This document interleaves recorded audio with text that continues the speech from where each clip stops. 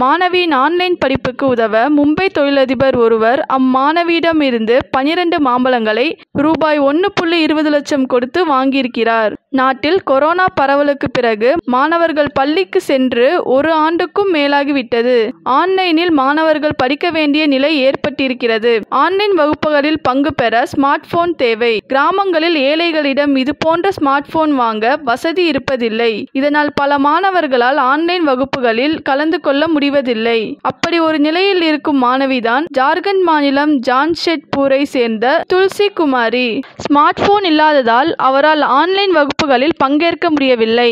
ஐந்தாம் வகுப்பு படிக்கும் சிறுமி ஆன்லைன் வகுப்பிற்காக மொபைல் ஃபோன் வாங்க முடிவு செய்தார்.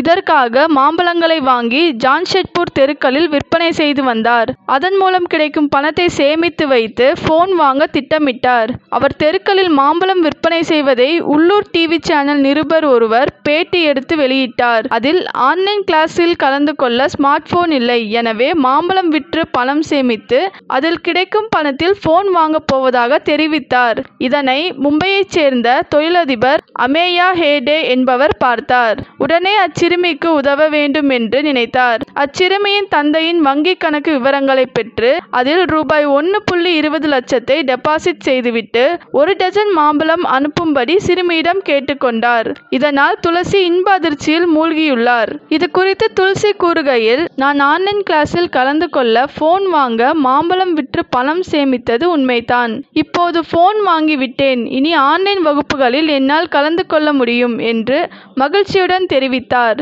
ஒரு டசன் மாம்பழத்தை ஒன்று புள்ளி இருபது லட்சம் ரூபாய்க்கு வாங்கிய அமேயா இது குறித்து கூறுகையில் சிறுமி பணமில்லாமல் படிக்க கஷ்டப்படுவதாக கேள்விப்பட்டு மிகவும் வருத்தமாக இருந்தது. அவளது இந்த நிலைக்கு அவள் காரணமில்லை. எனவே தான் அவளிடம் மாம்பழம் வாங்கினேன் என்று தெரிவித்தார். இது போன்ற தகவல்களை தெரிந்து கொள்ள நரநிலை செய்திகள் யூடியூப் சேனலுடன் இணைந்திருங்கள். Like share subscribe.